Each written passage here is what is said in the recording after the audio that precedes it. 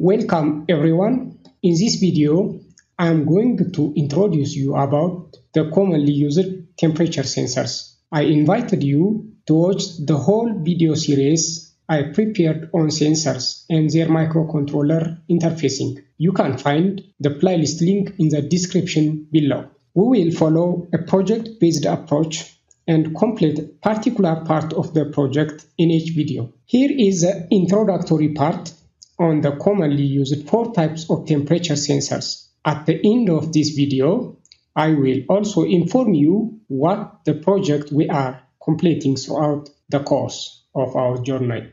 If you like the video and find it useful, please give me your like so that YouTube can help me recommending it to others.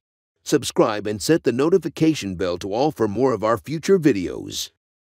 Okay, let's see first what a sensor is. The environment we are living in has many variables. To mention a few of them, it might be temperature, pressure, flow rate, fluid level, pH, speed, position, and many more. In industrial process, we often need to know the status of one or several of those environmental variables, or we may need to keep those variables at a desired value. We humans use our five sensory organs such as our eye, our tongue, our ear, etc., and our brain then decides based on the information from those organs. In industrial process also, controllers decide based on the information from the sensors.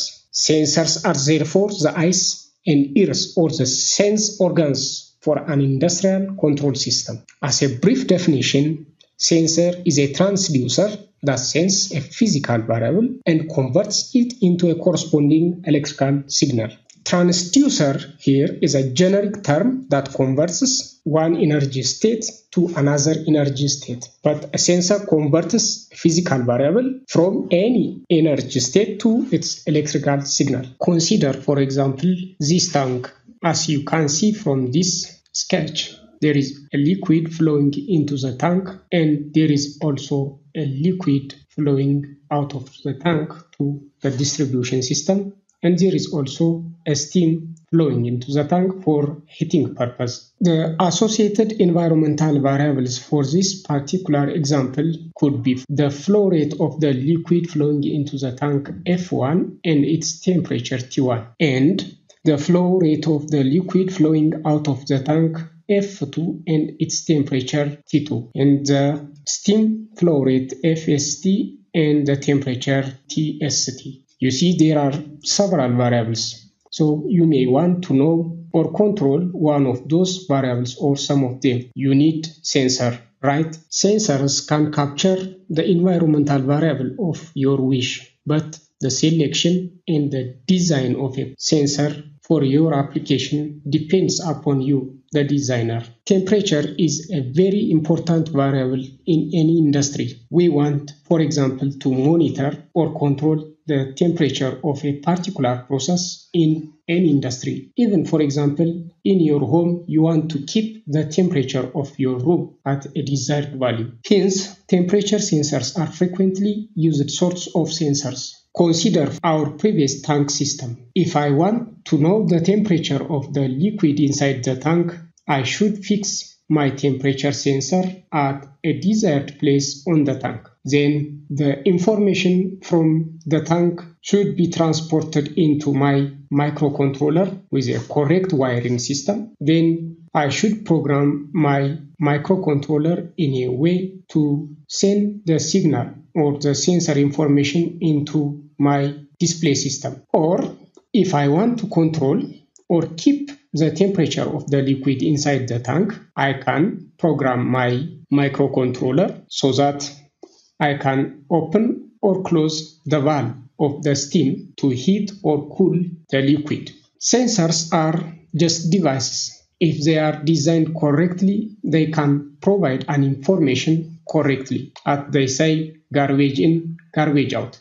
Thus are the most commonly used temperature sensors, RTDs, thermocouples, thermistors, and semiconductor type temperature sensors.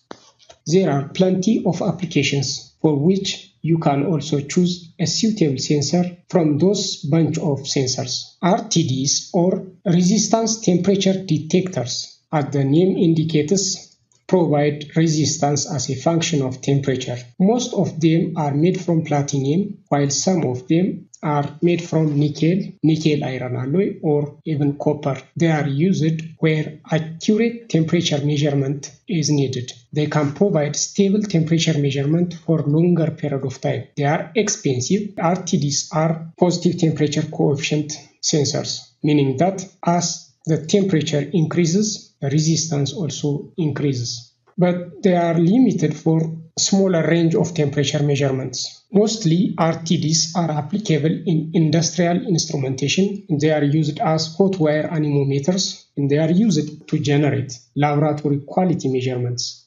Thermocouples gives millivolt range of EMF as a function of temperature. They are constructed from two dissimilar metals of platinum or platinum rhodium. With thermocouples, the highest range of temperature measurement can be achieved. They have fast response time and they can be applied in harsh environment. Their disadvantage is though they have small output signal and they require extra circuitry for reference junction compensation.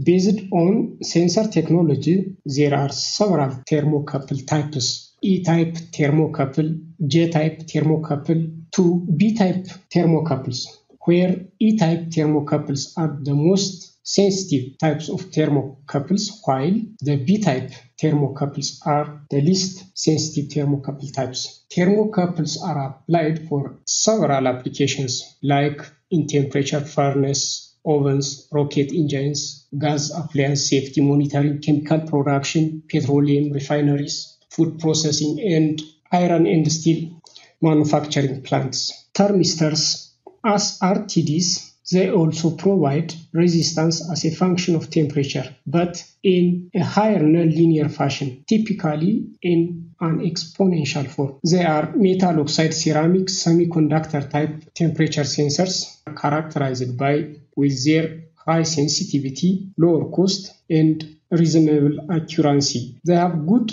electrical noise immunity. Most of the thermistors are negative temperature coefficient, meaning that the resistance decreases as the temperature increases or, or the resistance increases as the temperature decreases. But there are also positive temperature coefficient thermistors.